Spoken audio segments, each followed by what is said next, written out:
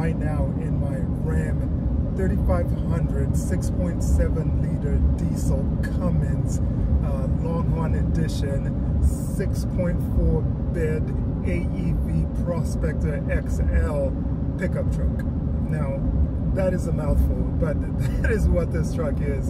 And I've owned it for just a little bit here, so this is my initial driving impressions, right? Uh, picked it up maybe a day or so ago, and I've done a couple of trips on the highway, some trips inside the city, that kind of thing. And I always do these initial videos just to kind of get you that capture with the buyer's remorse and everything else setting in after the deal is all done to kind of just talk about it and say, hey, what was my impression when I got in and I drove it for the first time? And that's what this is. So, so far my impressions are, it's a massive, it's a massive truck, right? But just standing outside, the sheer size of the truck is insane. I mean, it sits on 40 inch tires, right? A three inch lift. And just to stand beside it is absolutely one of these, it's a thing, it's a thing of beauty for anybody who's into cars, right? Driving it, my first impressions are loud. It is really. It's running on Cooper, I think STT 40 inch tires, 13.50. And I, it's just the loudest truck I've ever driven, or the loudest road noised tire I've ever driven. Granted, they're mud terrain tires, so anybody who's driven on mud terrains is like, yeah, shut up, that's normal. I usually have like your all-terrain tires, and they're a little quieter than what we have here. So that's the first thing that jumped at me and said, wow, this is really loud, just getting onto the interstate. That constant drone of those tires, I feel like if you were going long distance, that would drive you crazy.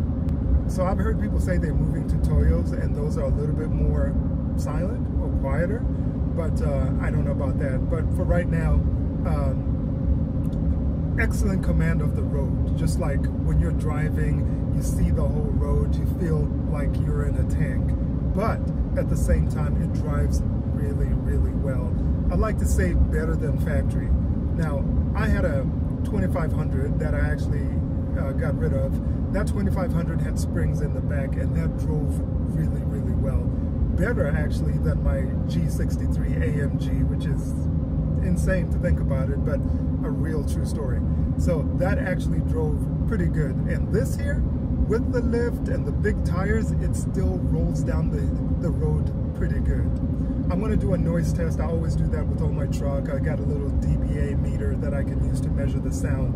I'm to do that to kind of give you guys an idea of exactly how loud it is compared to a regular 2500, compared to any of the other vehicles. If you're looking at my channel, I've done these on every single vehicle that I've owned in recent memory. And driving around town or in the city, it doesn't feel like I've heard some people say, hey, this feels so huge driving in the city. But when you're used to driving trucks, honestly, it's not that big a departure, even with these 40s. I think it still drives pretty good, even in the city at slow speeds.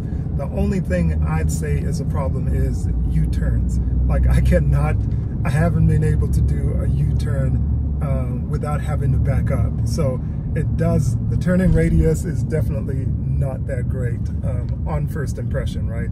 Maybe I'll change my mind as time goes on, but just driving around so far, it just seems like if you want to do a U-turn, don't. And then gas mileage wise, uh, it's about what? If I go on side roads, right, and I'm rolling on a flat road, I'm thinking I was getting something like uh, 15, maybe if I'm on the interstate, I'm going 75, 80 miles per hour, I'm right in that 12 range. So about 12 going 65 or going 75 and 35 on flat roads, I can touch like 15 point something, 16. But again, all preliminary numbers. Right now, super excited about the truck. I love it. I love the way it handles. I love the way it drives. And uh, hopefully I can hang on to it for a while. Uh, winter's coming also gonna try to do some videos in the snow, try to try to do a bunch of different things with it just to kind of see exactly what this is all about. It's supposed to be the most capable um, overlanding vehicle, you know, questionably, but uh, we'll see. I think it's going to be exciting. So the TFL guys, they're just out here in Colorado and they've got a new uh, farm off-road testing area, proving grounds that they've built out there.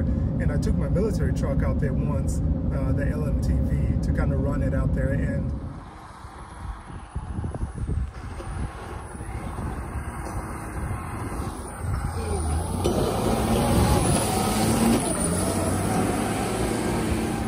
maybe I'll reach out to him, see if we can take this Prospector XL out there and see how it performs. I'd be very curious to see how that works out. But um, that's about it for right now, guys. More videos to come, um, but super excited right now. And uh, peace.